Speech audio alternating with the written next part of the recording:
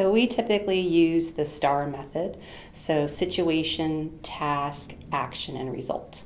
So that's really helpful when I will coach people on interviewing. I say, before you interview, put together four or five stories, write it down, because writing down sometimes helps you just remember that.